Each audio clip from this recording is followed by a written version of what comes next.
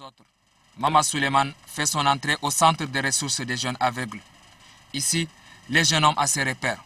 D'un côté ses cours, de l'autre son ordinateur. Il fait ses recherches.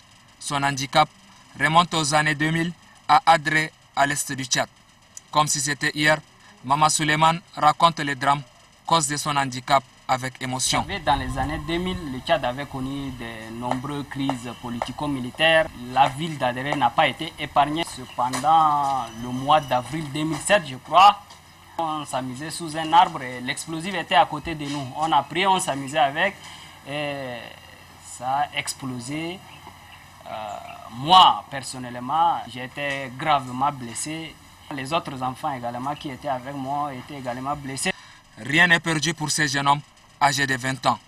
Sa vie, il se bat pour la rendre plus utile. Assiduité et travail bien fait à l'école, choses qui lui ont valu le succès au bac cette année avec une moyenne de 13,22. Ma passion se portait vers les sciences pour, s'il plaît à Dieu, je vais continuer dans ce chemin-là. Parallèlement aux Sciences Po, je nourris également un autre projet, c'est celui d'avoir de continuer également avec euh, les langues, avec, euh, avec ces, deux, diplômes, on peut, on peut parfaitement servir son pays.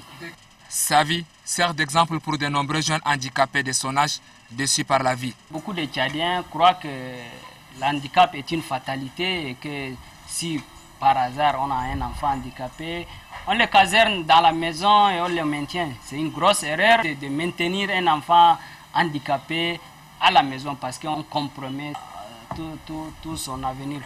À ses heures libres, dans cette posture, du haut, il imagine son avenir. Un bel avenir pour lui et son pays, pour qui il nourrit de grandes ambitions. Yes, we can, nous pouvons, citation de son idole Barack Obama, inspire ses actions.